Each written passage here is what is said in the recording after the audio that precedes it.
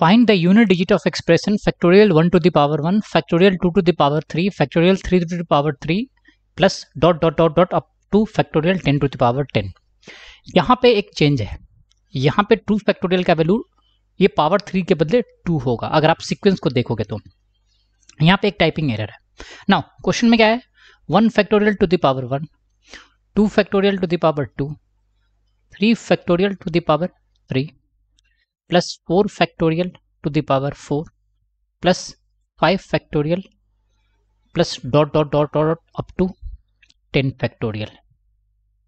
अगर आप इन सभी टर्म को देखोगे तो इन सभी का यूनिट डिजिट होगा ज़ीरो वो कैसे? फाइव फैक्टोरियल का वैल्यू कितना होगा? One into two into three into four into five that imply hundred and twenty अब hundred and twenty to the power अब अगर आप कोई भी नंबर रखो, कोई भी एनी नंबर तो unit digit zero into N times तो ज़ीरो ही होगा। तो फाइव रखो सिक्स रखो, कुछ भी रखो इरेलीवेंट है।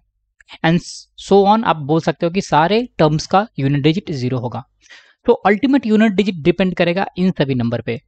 तो वन फ़र्स्ट टर्म का यूनिट डिजिट यहाँ पे टू फैक्टोरियल का वैल्यू टू है, और उसका पावर टू तो unit digit four three factorial का value two into three that imply six to the power three ultimately कोई भी पावर रखो सिक्स का तो unit digit six last but not the least four factorial का value कितना होगा? Twenty four four factorial one into two into three into four तो twenty four to the power four तो इसका unit digit four to the power four पे depend करेगा।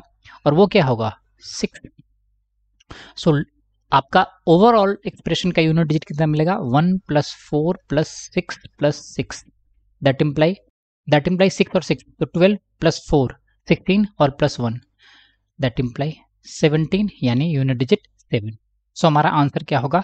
Seven